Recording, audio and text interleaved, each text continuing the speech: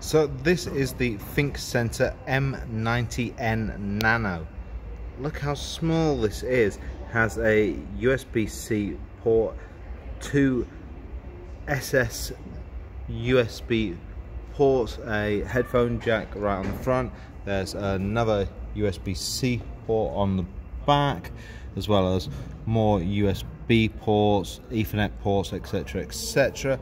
There's the full specs right there for you. That thing is fast and compact. That's absolutely awesome. I'll put that there. You can scan the QR codes if you want to know more.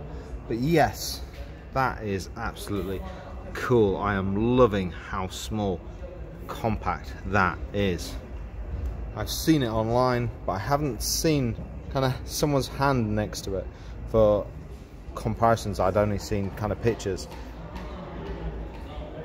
The red bottom as well. Gives you that little stripe along the bottom. Beautiful.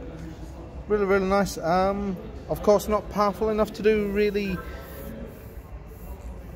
really complex kind of 3D work, but still, that eighth generation i7. You know, it's powerful enough to do some really good sketch work on. Love it. Let me know what you think in the comments below.